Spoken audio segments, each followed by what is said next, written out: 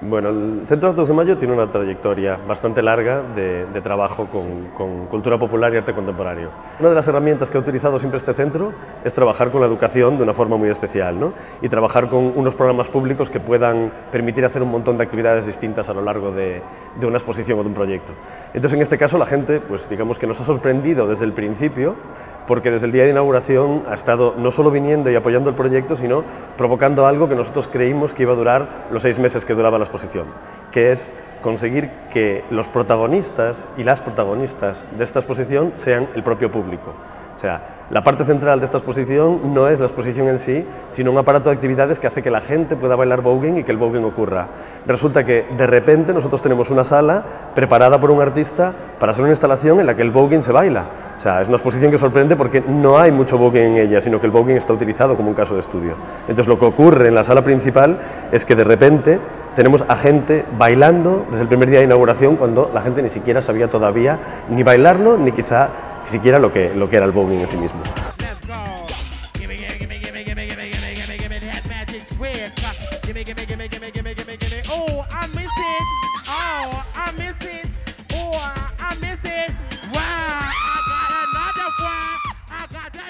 El nivel de aceptación ha sido muy muy alto y sobre todo es esto, está afectando a muchos públicos muy diversos. ¿no? Vamos, la comunidad LGTBQ de Madrid pues está viniendo, digamos, eh, eh, porque evidentemente se reconoce en ella, pero por ejemplo el público racializado del entorno madrileño también se acerca porque, pues por ejemplo, mm, son los primeros folletos que tenemos eh, en la historia de este museo y posiblemente en los museos de Madrid en donde hay personas negras en la portada de un folleto dirigido a un público muy determinado y por último, claro, evidentemente, el público interesado en arte contemporáneo se puede hacer a toda una historia del arte afroamericano conceptual que no había ocurrido hasta ahora. ¿no? Digamos que la mayoría de las obras que exhibimos aquí jamás habían sido exhibidas en nuestro país y sobre todo artistas fundamentales de la historia del arte norteamericano eh, nunca habían estado presentes en nuestro país. ¿no? Que esta sea la primera exposición de arte contemporáneo afrodescendiente americano es digamos, una, una, una noticia muy importante ¿no? también a destacar.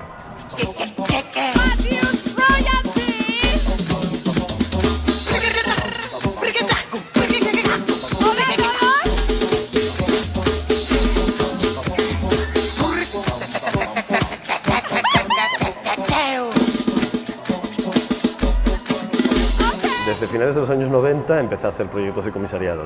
Primero en Galicia, que es donde soy. Eh, a, medida que pasaron los años, pues bueno, tuve la oportunidad de estudiar estudios culturales en Inglaterra y feminismo también allí.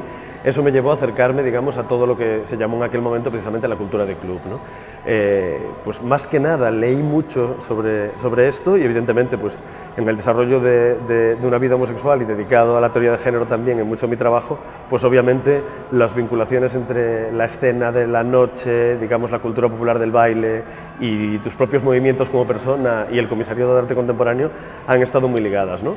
Eh, evidentemente mis intereses desde digamos, los años 20 hasta hoy son muy amplios, es más, mi tesis es sobre los cabarets y la imagen pública de los cuerpos a finales del siglo XIX en París, con lo cual digamos que mi relación con todo este tema del cuerpo, de la diferencia, el dandismo, la estética, la producción digamos estética de la subjetividad, o sea, la producción digamos a través de la representación y del cuerpo, de los adornos, del maquillaje, de las pelucas, del tatuaje, ¿no? De, la persona, pues para mí siempre ha sido algo fundamental, ¿no? que he trabajado siempre, a nivel personal y a nivel eh, laboral y público. Entonces, bueno, pues digamos que esto ha sido una oportunidad muy buena de, de, traer esto a un museo que lleva desde los últimos 10 años de existencia que tiene, pues lleva trabajando sobre estas cosas desde muchos lugares distintos. Y que yo simplemente pues, he hecho el giro de vincular proyectos habituales como el del punk, que también estudiaba estética y también estudiaba la música y la relación de eso con el arte contemporáneo, eh, a un punto que yo creo que era fundamental y que tiene que ver precisamente con, con, con este mundo, digamos, más underground, pero que nos permitía a nosotros analizar un fenómeno que tocaba muchas más cosas que solo la sociedad, ¿no? sino que tocaba la sociedad desde tres puntos de vista diferentes, como son la raza, el género y la clase social, que yo creo que es lo que la hace un poquito más especial y un poquito más cañera, vamos a decir. Bleach blonde hair, body by Nautilus, mind by Mattel. This bitch is watching us. Ten black men show up and they get paranoid the place is gonna tilt. We finally get to the door and Thing says with much condescension, You know there's a cover to get in. But I tried to ignore her rudeness, and then she shot her arm out. I need to see three pieces of ID. I thought this shit was through. Don't mess with the snap diva. Eh, yo creo que hay un, un, tema muy, muy importante. ¿no? El voguing, yo creo que es, desde los años 80 es feminista, pero feminista de última generación. Eh, digamos que el, el, feminismo clásico reivindica pues, que existe una mujer y que digamos que es precisamente por el tema cisgenérico de una mujer biológica, eh, digamos a partir de, de digamos, de un, un, cuerpo con unas determinadas características que nace biológicamente con esas determinadas características, sea de tendencia digamos de género lésbico o heterosexual, ahí es donde está la defensa de las mujeres. ¿no? El Vogue, desde los años 80, está haciendo algo que avanza unas teorías que vienen mucho después, a mediados de los 90 ya, que son las teorías de lo queer, digamos, la crítica de género binario. En el Vogue tú puedes en cualquier momento, a través de tus movimientos, de tu baile, de la categoría que elijas para desfilar, de los elementos, etc., te puedes convertir en cualquier otra persona. Tú puedes ser en un momento determinado un hombre con cuerpo de mujer, una mujer con cuerpo de hombre, puedes convertirte en otro momento dado en algo totalmente intergenérico que está manipulando ambas categorías y todo esto a través precisamente de ese baile, que es un baile que pone en baile los géneros en sí mismos. ¿no? O sea, digamos que el hombre ya deja de ser hombre y existe solo dentro de unos gestos determinados. La mujer exactamente igual. Y sobre todo, lo más importante, creo yo, la raza también se performa como un elemento que puede aparecer o desaparecer. En feminismo actual, interseccionalidad. La intersección define precisamente esos campos. ¿no? La raza, el género y la clase social se ponen en movimiento.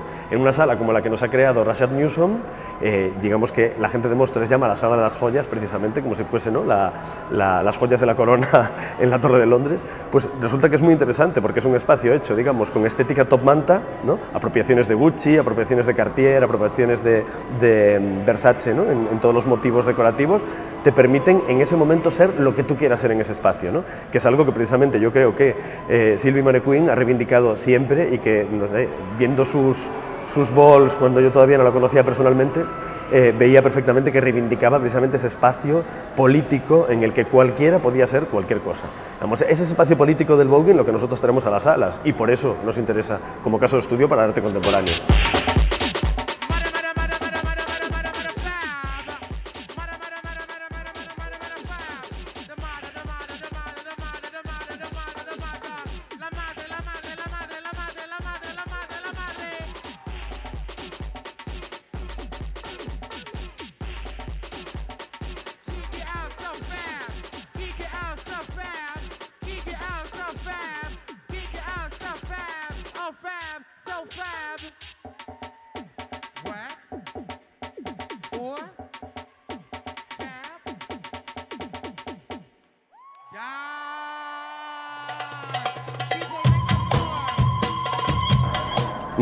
Para mí es contar una historia, o sea, es la posibilidad de contar tu propia historia, apropiarte de tu propia narrativa.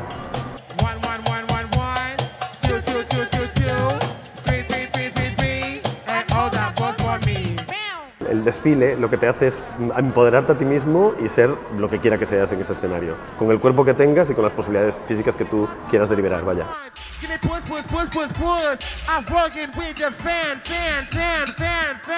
El duckbox yo creo que es una carrera de resistencia, eh, la resistencia que, que, que, precisamente tienen los cuerpos a no ser como otros quieren que tú seas, sino que a definirte como tú mismo.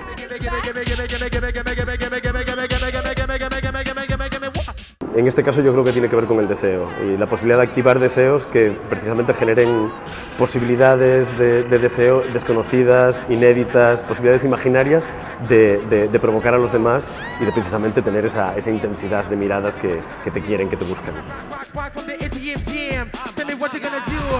Digamos que cada caída de, de, de un boger, cada caída de, de, una travesti, en cierto modo es esa posibilidad de golpe y de resurrección, ¿no? esa posibilidad de que mmm, te o te tumbes, pero la posibilidad de siempre levantarte y siempre estar con precisamente esa, esa fuerza que permite que seguir, seguir bailando y seguir siendo político en tu baile.